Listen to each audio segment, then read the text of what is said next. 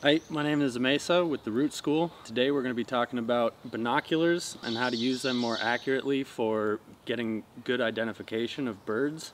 So for binocular parts, we've got the objective lenses, the eyepieces, which on some binoculars are adjustable.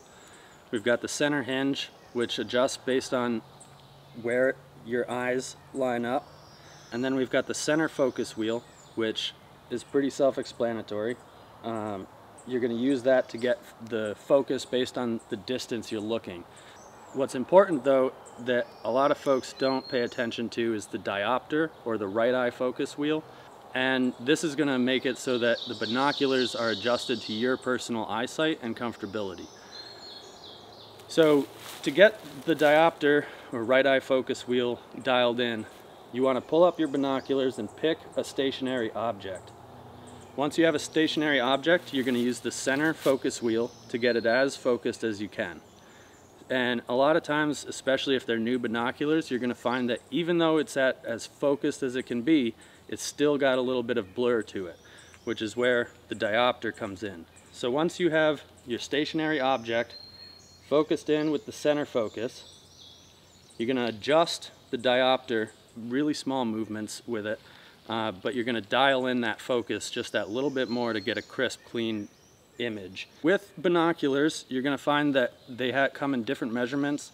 There are 6 by 32s, 8 by 32s, 8 by 42s, uh, 10 by 50s, 10 by 42s. And what that means is the first number, 6, 8, 10, whatever it is, that's referring to the specific magnification scale. So my binoculars are 8 by 42s, which means it's going to pull in an object eight times closer to me than what I'm actually at. The second number is referring specifically to the measurements of the objective lens and what that provides is the field of view. So an 8 by 32 is going to have a narrower field of view but the same magnification as these binoculars. The 8 by 42 has a slightly wider field of view and in turn also ends up receiving uh, the ability to pick up more light. Trying to walk through the woods with a pair of 10 by 50s is going to be, they're both big, but they're also going to be with a huge magnification that can be challenging to use in shrubby habitats. Whether you're out in the Midwest with big rolling fields, or you're out on the ocean looking at seabirds, uh, the 10 by 50s are going to be helpful in those situations. Here in New England, the 8 by 42s are my absolute favorite size because they do have a fairly wide uh, field of vision, but they're also adjusted well for picking up birds in close proximity and being able to pull in the identifying markers that you're looking for a lot more clearly than having the whole bird take up your field of vision. So with binocular use in the field, we talked about using the diopter adjustment and the method of picking a stationary object to adjust your focuses. Now, with using the binoculars though, it's going to be much the same tactic, though with birds the object is not stationary most of the time. So the way that is most effective for getting your binoculars to be of assistance is to not just bring your binoculars up and be fishing around in your field of view trying to find this small bird in a tree. It's going to be much more helpful to keep your eyes locked on your target, what you're trying to observe, and bringing the binoculars up to meet them. And you'll find that by doing it this way, when the binoculars do reach your eyes, it'll take very minimal movement adjustments to get the object in your field of view if it's not already. So once you have the bird in your field of view, you're going to use the center focus wheel to make sure that you've got it focused in. Just by bringing your binoculars up does not necessarily mean that what you're looking at is going to be in focus. It may be too far, too close. So making the adjustment with the center focus wheel will bring in and dial in the detail and clarity of the object you're trying to look at.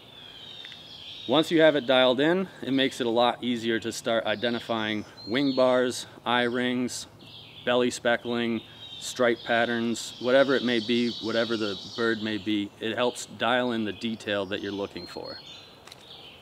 So when I'm out birding, uh, I tend to spend a lot of my time in wide angle vision and I'm looking mostly for movement patterns, uh, disruptions in tree branches, and oftentimes that's keyed in based on something I hear. So say I hear a bird I don't recognize, but I want to see it.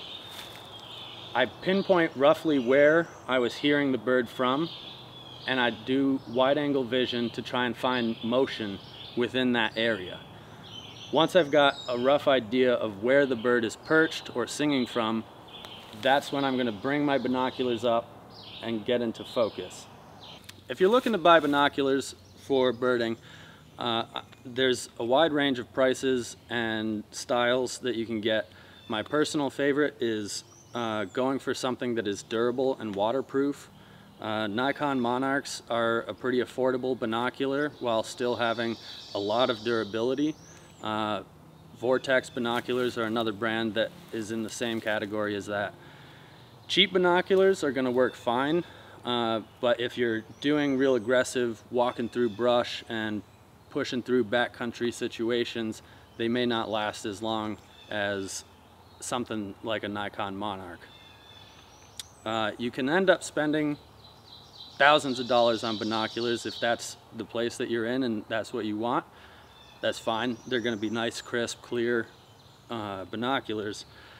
However, I personally would not want to be pushing through thick material and aggressive landscapes with really expensive binoculars.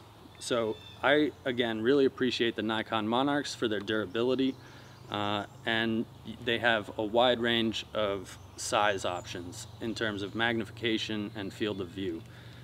Once you have a new pair of binoculars, I personally really like to put a little bit of bright flagging on the binoculars themselves so that if I do set them down, maybe I'm having a snack on the side of a trail somewhere, it's gonna make it a lot easier to not lose them. You're gonna find them, see them on the ground a lot easier.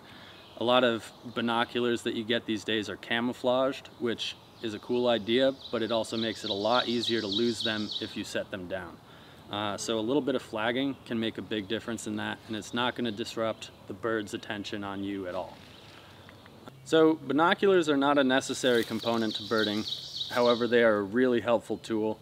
A field guide is definitely going to be a very helpful tool in terms of working through the identification process, but often being able to see the details of the bird you're looking at, binoculars are going to make the difference of being able to pinpoint which details are important for the identification process. Using a camera is an option too, but often is, has its own set of challenges. Birding by sound is definitely a strong component to birding. However, if you're just getting started and learning birds for the first time, one of the best ways to learn a bird's song is to watch the bird make that song. Uh, if you hear a bird that you don't know and you are able to pinpoint its location, using your binoculars to watch it sing its song will put an image in your mind each time you hear that song in the future. So the binoculars end up being really helpful to get that image and help you work through the process of identifying by sound, even though these are based on sight. I hope this video helps you out with picking a new pair of binoculars and getting them dialed in for your own vision. Happy birding.